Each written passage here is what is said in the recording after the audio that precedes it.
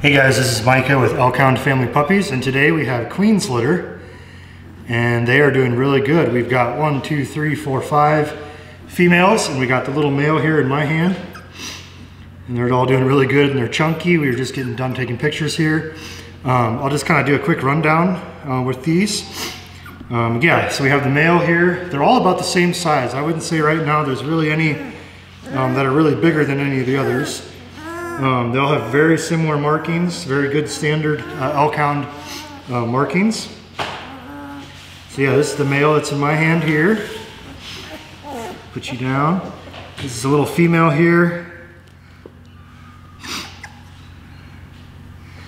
There's maybe one, this one right here, maybe that's a little bit darker. She's got a little bit darker across the head there.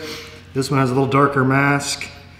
Um, but yeah, they all have that really nice silvery pepper um, fur.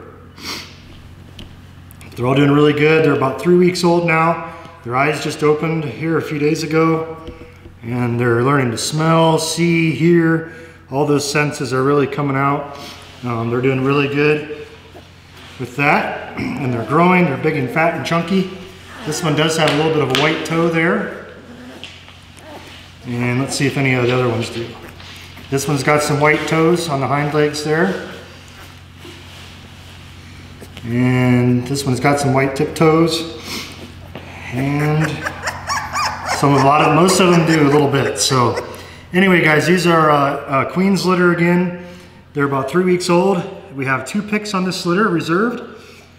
So if you are interested, give us a call, um, 330-466-1630.